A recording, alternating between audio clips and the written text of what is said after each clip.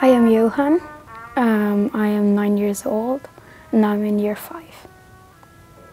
My favorite thing about, about the school is the subjects are fun.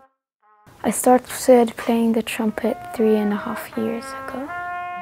My name is Gary Kavanagh and I'm the brass teacher at the British School. Johan is a wonderful student to teach, uh, primarily because he's absolutely fanatical about the trumpet. My favourite thing about playing the trumpet is if you get better it sounds very good and it's fun to play different pieces. I chose the trumpet because I like the sound of it. Quite often it's quite difficult to stop Johan playing when you're trying to... He wants to play the whole piece for you and then he will talk to you.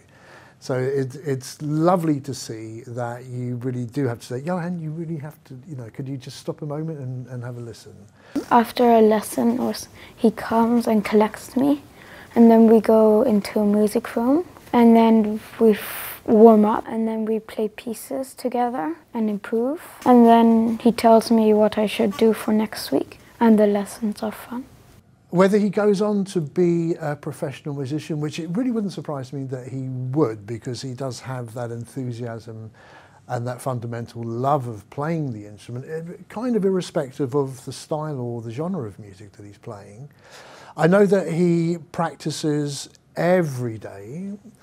Johan has been successful in getting a place in the Young Conservatory in The Hague, which happens to be the conservatory I went. And I heard the dress rehearsal for his first exam, and I was I was almost in tears this morning. It was like, ah, listen to that. He's done so well.